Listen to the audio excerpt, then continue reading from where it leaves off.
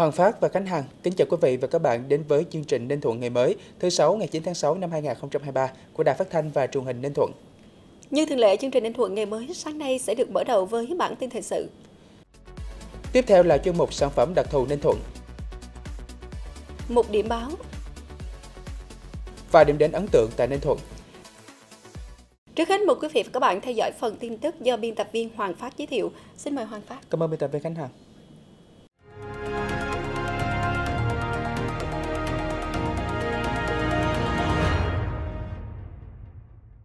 Bây giờ là nội dung chi tiết. Từ đầu năm 2023 đến nay, kinh tế xã hội của tỉnh Ninh Thuận tiếp tục có bước tăng trưởng khá. GRDP 6 tháng năm 2023 đạt 7,95%, xếp thứ 8 trên 63 tỉnh thành cả nước và xếp thứ nhất vùng Bắc Trung Bộ và Duyên Hải miền Trung. Để đạt mục tiêu tăng trưởng kinh tế năm 2023 từ 10 đến 11%, tỉnh Ninh Thuận sẽ tiếp tục tập trung cơ cấu lại các ngành sản xuất và dịch vụ gắn với đổi mới sáng tạo, tăng cường ứng dụng khoa học công nghệ, chuyển đổi số, tập trung vào các ngành động lực và còn dư địa tăng trưởng. Tiếp tục cơ cấu lại ngành nông nghiệp theo hướng bền vững, thích ứng biến đổi khí hậu, gắn với phát triển nông nghiệp ứng dụng công nghệ cao, nông nghiệp hữu cơ, nông nghiệp số. Cơ cấu lại ngành công nghiệp, tập trung ưu tiên công nghiệp chế biến, chế tạo, nhằm tạo bứt phá và tạo động lực tăng trưởng mới, phát huy tiềm năng thế mạnh, tận dụng cơ hội dư địa tăng trưởng các ngành dịch vụ gắn với đẩy mạnh ứng dụng công nghệ số, nhất là các ngành du lịch, thương mại, tài chính, ngân hàng, bảo hiểm, bất động sản, logistics, tập trung hỗ trợ tháo gỡ khó khăn, đồng hành cùng doanh nghiệp tiếp tục triển khai hiệu quả công tác cải cách hành chính, nâng cao các chỉ số hành chính của tỉnh, tập trung giải ngân vốn đầu tư công năm 2023 đạt 100%, chú trọng làm tốt công tác an sinh xã hội, công tác phòng chống dịch bệnh, đồng thời đảm bảo quốc phòng an ninh và trật tự an toàn xã hội. Sau hơn 2 năm thực hiện nghị quyết Đại hội Đảng bộ tỉnh lần thứ 14, nhiệm kỳ 2020-2025, sản xuất nông nghiệp của tỉnh Ninh Thuận đã có bước phát triển khá toàn diện, luôn là bệ đỡ của nền kinh tế. Thời gian tới, tỉnh Ninh Thuận sẽ tiếp tục đẩy mạnh cơ cấu lại ngành nông nghiệp gắn với chương trình thích ứng biến đổi khí hậu và xây dựng nông thôn mới, tăng nhanh tỷ trọng ngành chăn nuôi để từng bước trở thành ngành sản xuất chính, từng bước hình thành các vùng nông nghiệp đặc thù ứng dụng công nghệ cao gắn với chế biến xuất khẩu và phát triển du lịch, tiếp tục xây dựng Ninh Thuận thành trung tâm sản xuất tôm giống có chất lượng cao của cả nước, tăng cường công tác quản lý, bảo vệ và phát triển rừng, phấn đấu giá trị sản xuất và giá trị tăng thêm ngành nông lâm thủy sản tăng bình quân từ 3 đến 4% mỗi năm. Đến nay, tỉnh Ninh Thuận đã thu hút đầu tư 31 dự án nông nghiệp ứng dụng công nghệ cao đi vào hoạt động, gồm 18 dự án trồng trọt, 3 dự án chăn nuôi, 8 dự án thủy sản, 2 dự án chế biến nông sản. Ngoài ra, tỉnh hiện có diện tích sản xuất nông nghiệp ứng dụng công nghệ cao đạt 260 ha. Mục tiêu đến năm 2025 sẽ nâng lên 1.000 ha. Để nhân rộng mô hình sản xuất nông nghiệp ứng dụng công nghệ cao, thời gian tới Ninh Thuận sẽ đẩy mạnh hợp tác liên kết để nghiên cứu, lựa chọn các quy trình công nghệ sản xuất các loại giống cây trồng vật nuôi mới có năng suất chất lượng, phù hợp với tiềm năng lợi thế và tình hình sản xuất của tỉnh, tập trung phát triển nguồn nhân lực phục vụ sản xuất nông nghiệp ứng dụng công nghệ cao, đẩy mạnh liên kết sản xuất, xúc tiến thương mại, mở rộng thị trường tiêu thụ sản phẩm, ưu tiên sử dụng các nguồn lực để thực hiện nhanh chuyển đổi số, từng bước đưa nông nghiệp công nghệ cao trở thành mũi nhọn trong phát triển kinh tế của địa phương.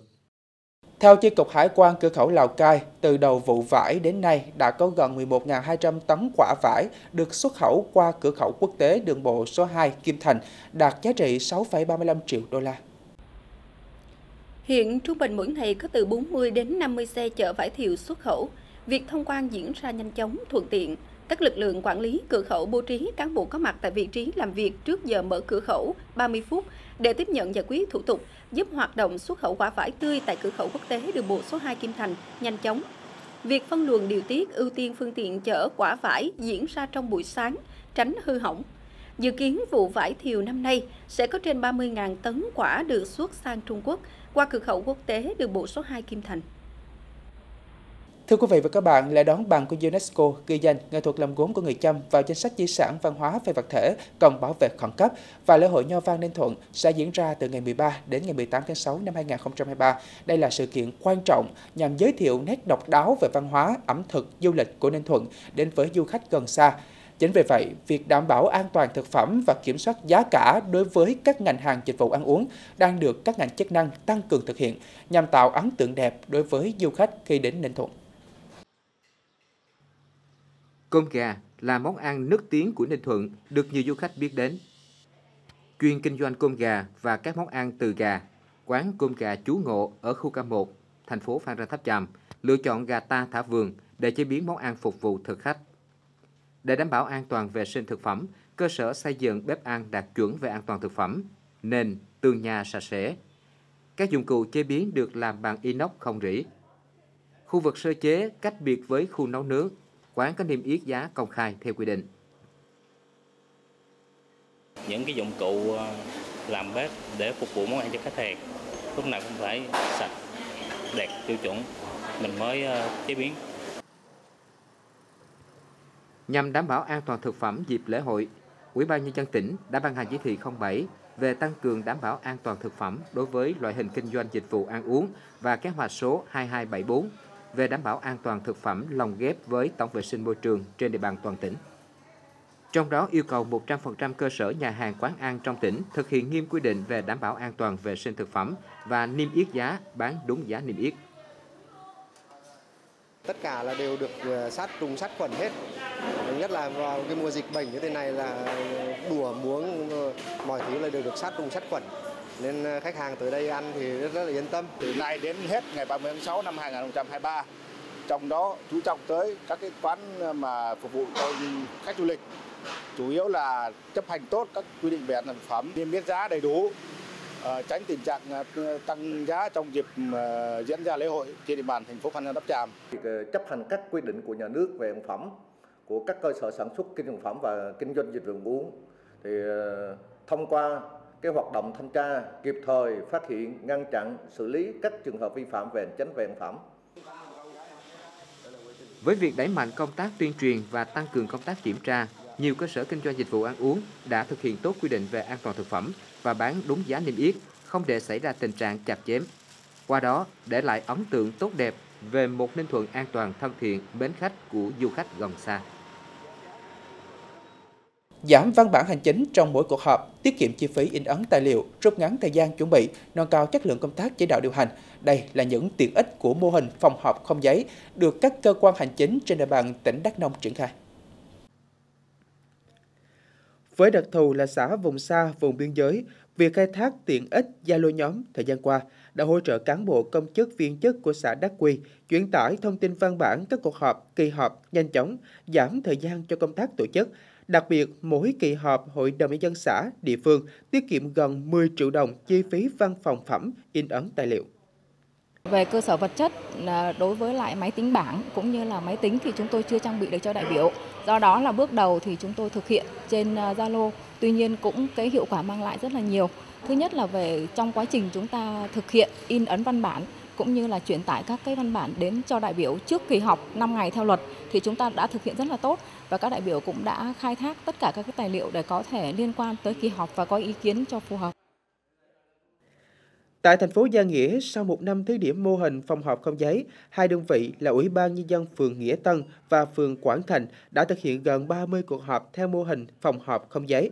Cụ thể, tại từng cuộc họp, ban tổ chức niêm yết công khai mã QR và mật khẩu Wi-Fi. Đại biểu tham dự thực hiện quét mã QR để truy cập và tải các văn bản liên quan. Các thao tác tiến hành nhanh chóng, tiết kiệm thời gian, chi phí, đồng thời lưu trữ thông tin thuận lợi hơn. Hiện tại, sau thời gian triển khai, các đơn vị cũng quen dần với hình thức tổ chức cuộc họp kiểu mới này. Sử dụng mã QR uh, ờ, code để quét và tải tài liệu về cho tất cả các đại biểu. Thì uh, với uh, việc mà tham mưu chuẩn bị cho các cuộc họp thì à, tôi thấy là cái việc dùng QR code để quét tài liệu này có một số cái à, thuận lợi đó là à, cái công tác chuẩn bị cho kỳ họp sẽ rút ngắn bớt cái thời gian để phát tài liệu và một cái phần nữa là tiết kiệm về chi phí văn phòng phẩm và in ấn. Về đối với thao tác để tải tài liệu bằng QR code thì rất là đơn giản. Theo thống kê của cơ quan chức năng, tỉnh Đắk Nông hiện có hơn 50 cơ quan đơn vị áp dụng chuyển đổi từ phòng họp truyền thống sang phòng họp không giấy mang lại hiệu quả kép khi vừa góp phần nâng cao chất lượng cải cách hành chính, vừa hoàn thành mục tiêu chuyển đổi số, đảm bảo đến cuối năm 2023, 100% người dân và doanh nghiệp sử dụng dịch vụ trực tuyến được định danh và xác thực thông suốt, hợp nhất trên tất cả các hệ thống của chính quyền từ trung ương đến địa phương. Từ đầu năm 2023 đến nay, cả nước ghi nhận gần 9.000 trường hợp mắc bệnh tay chân miệng, trong đó có 3 trường hợp tử vong. Trước tình hình dịch bệnh có xu hướng tăng nhanh, Bộ Y tế yêu cầu các địa phương tăng cường phòng chống bệnh tay chân miệng. Cụ thể, cần tập trung phòng chống dịch bệnh ở các khu vực có số ca mắc cao, có nguy cơ bùng phát dịch.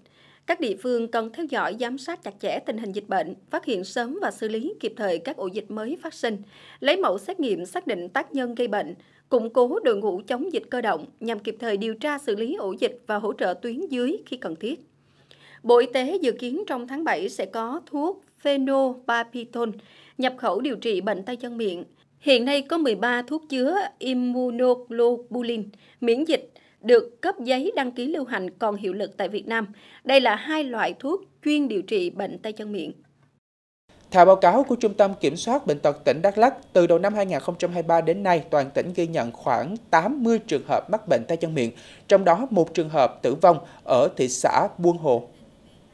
Trước tình hình bệnh tay chân miệng có thể tiếp tục có những diễn biến phức tạp, ngành y tế đề nghị các trạm y tế trên địa bàn tiếp tục thực hiện tốt công tác phòng chống dịch bệnh, giám sát phát hiện để xử lý sớm ổ dịch cũng như kịp thời điều trị bệnh nhân, đồng thời đẩy mạnh công tác tuyên truyền các biện pháp phòng chống dịch bệnh về tận các thôn, buôn, tuyên truyền về các biện pháp cách ly, khử khuẩn, tránh lây lan, hướng dẫn chăm sóc điều trị tại nhà và thường xuyên theo dõi nhằm kịp thời phát hiện biến chứng nguy hiểm.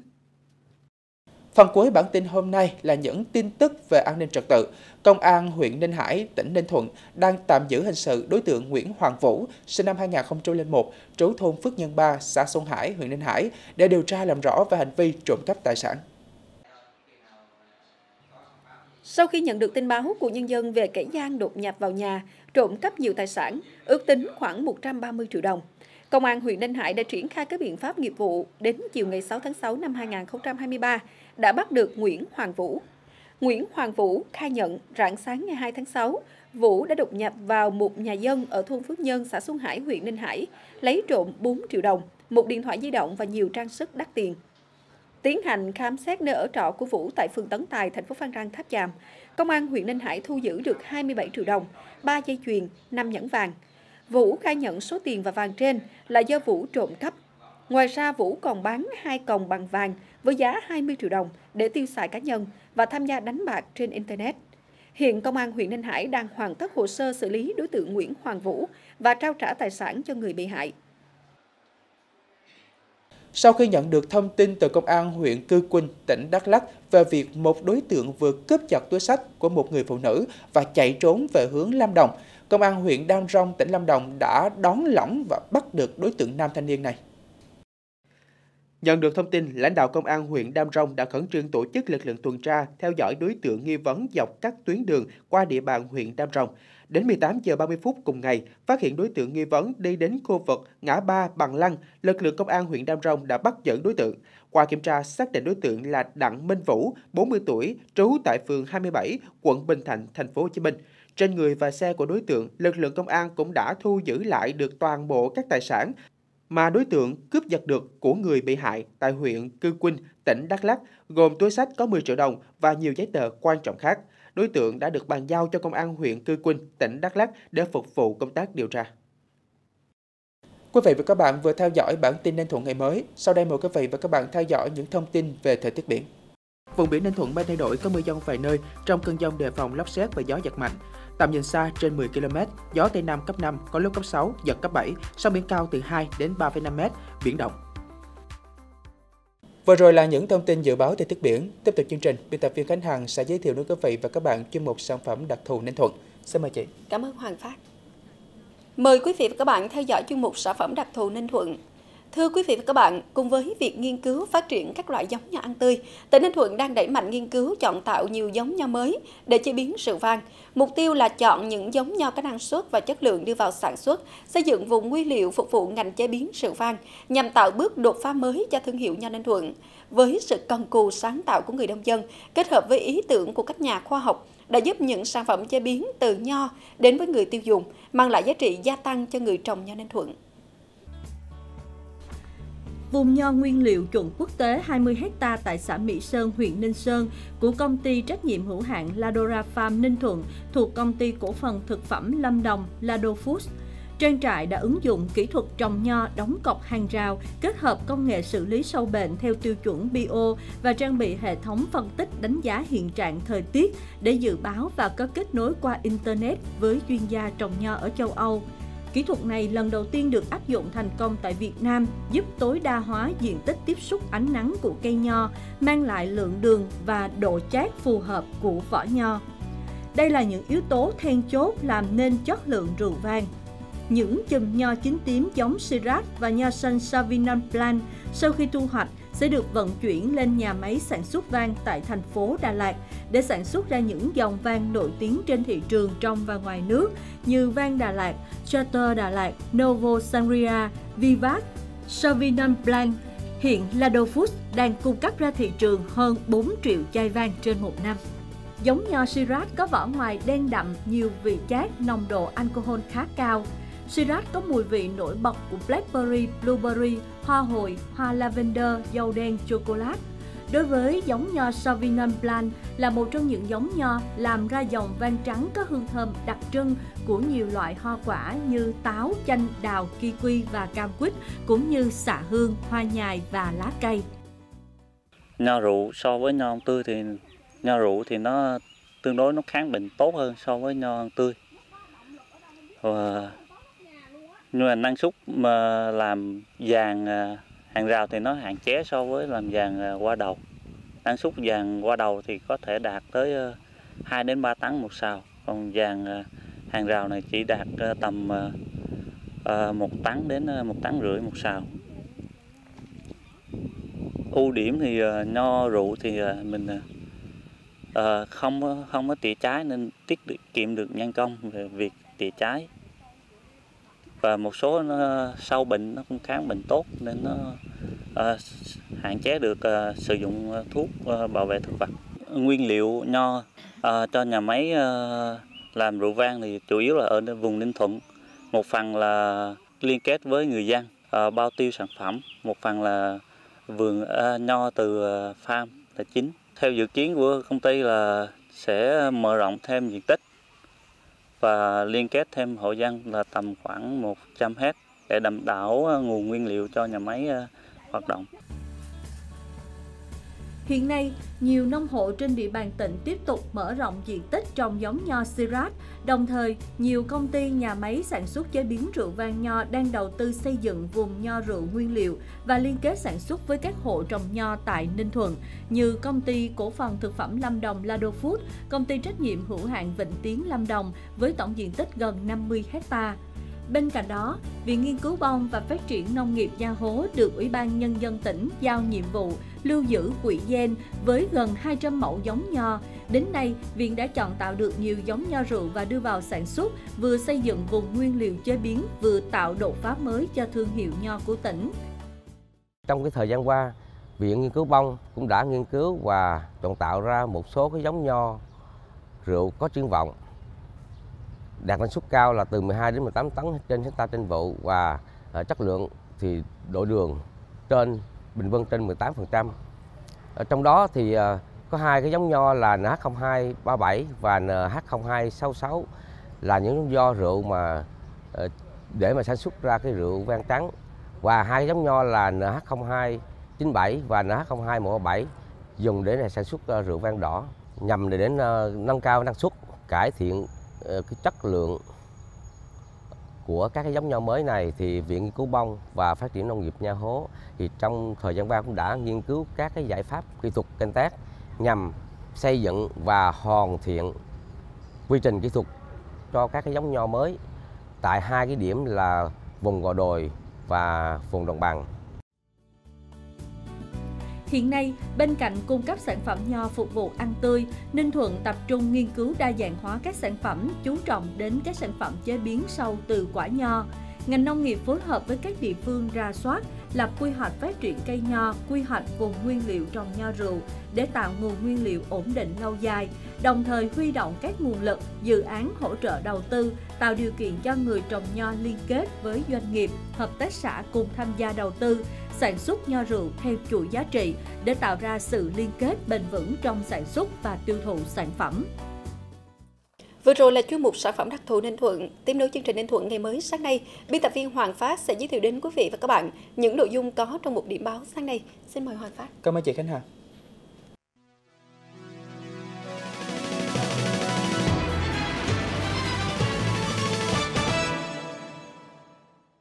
Sau đây là chuyên mục điểm báo. Trong bối cảnh kinh tế thế giới có nhiều khó khăn, nhưng cán cân thương mại hàng hóa Việt Nam 5 tháng năm 2023 với số liệu xuất siêu 9,8 tỷ đô la Mỹ, song nhiều ý kiến cho rằng con số này chưa hẳn đáng mừng vì kim ngạch nhập khẩu giảm mạnh hơn xuất khẩu, chủ yếu là nguyên vật liệu phục vụ sản xuất, đồng nghĩa với việc doanh nghiệp rất khó khăn.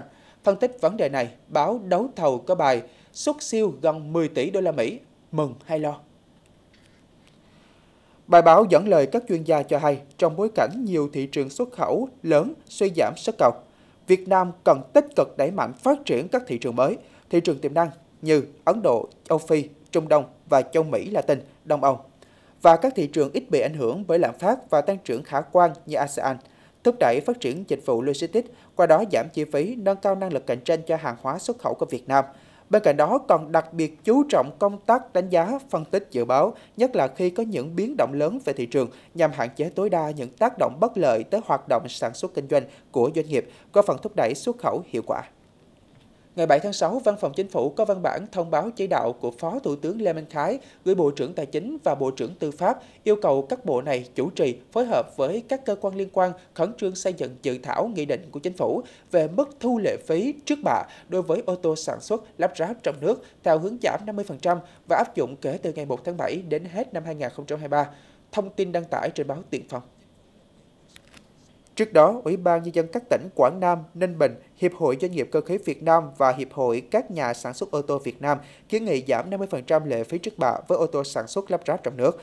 Cũng với đề xuất này, Bộ Công Thương cho rằng từ đầu năm đến nay, doanh nghiệp chưa hoàn toàn phục hồi sau đại dịch, nguy cơ suy thoái kinh tế đang hiện hữu, tác động nghiêm trọng đến doanh nghiệp sản xuất lắp ráp ô tô và toàn nền kinh tế, đặc biệt trong bối cảnh kinh tế thế giới phức tạp và bất ổn việc áp dụng chính sách hỗ trợ giảm mức thu lệ phí trước bạ đối với ô tô sản xuất lắp ráp trong nước là hết sức cần thiết.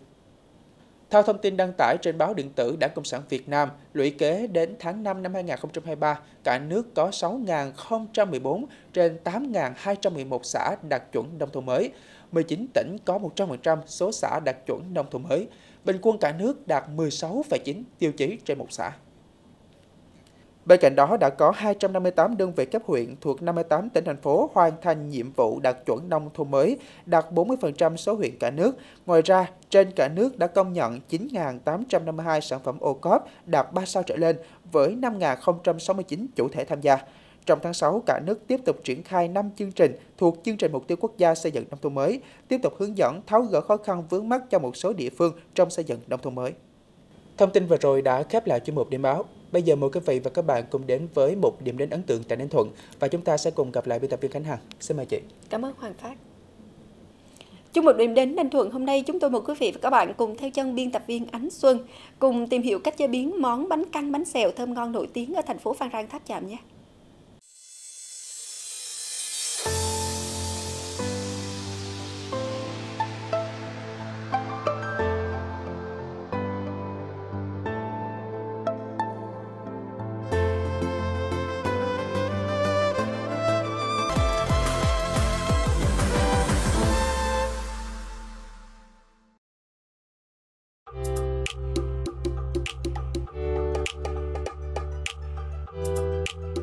Chào quý vị và các bạn đến với một giới thiệu điểm đến của Đài Phát thanh và Truyền hình Ninh Thuận.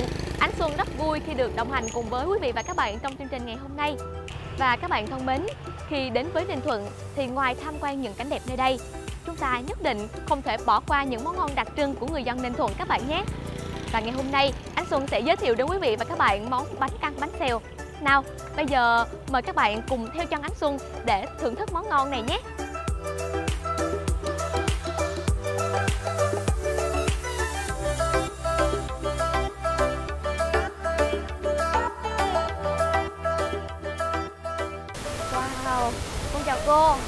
Ơi đi từ xa là con đã ngửi thấy cái mùi thơm của bánh rồi.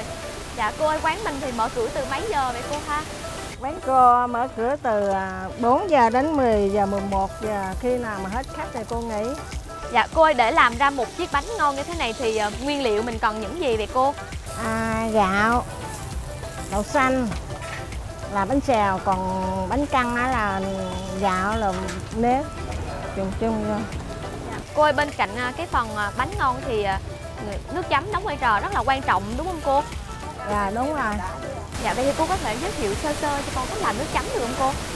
À thì để cho cô à, hướng dẫn à, về nước mắm ha. À, bánh xèo ấy thì nhờ về nước mắm mà bây giờ ở mình ở thường ninh thuận mình sẽ ăn nhiều nhất là mắm nêm mắm nêm là cá cơm à, còn à, mắm à, cà rồi mắm đậu phộng ba loại mắm. Và có có nước cá nữa. Ừ. Khi nước cá thì mình à, mình kho để mình bán mình cho người dân tiêu dùng thì mình cá tươi. Và có dưa dưa hồng trộn chung vô rồi kho. Cô ơi, ờ, cô có thể cho con à, đổ thử một vòng để xem à, con có học nghề được không cô ha?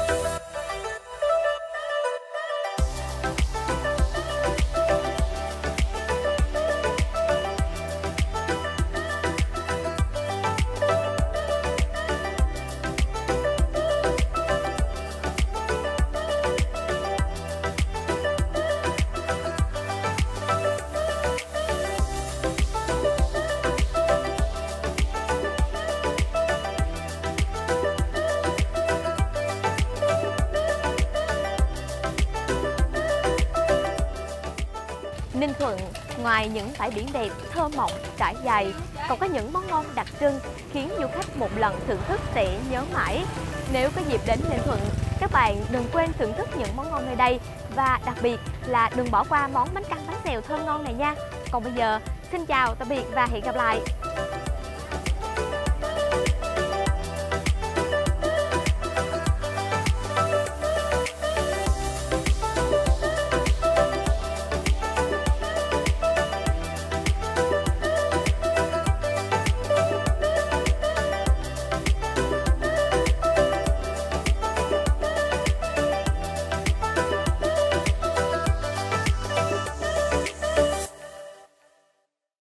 Quý vị và các bạn, chương trình Ninh Thuận ngày mới sáng nay khép lại tại đây. Chúc quý vị và các bạn có một ngày mới làm việc hiệu quả. Khánh Hằng và Hoàng Phát thân mến chào tạm biệt. Hẹn gặp lại quý vị và các bạn trong các chương trình sau. Và sau đây là những thông tin về dự báo thời tiết.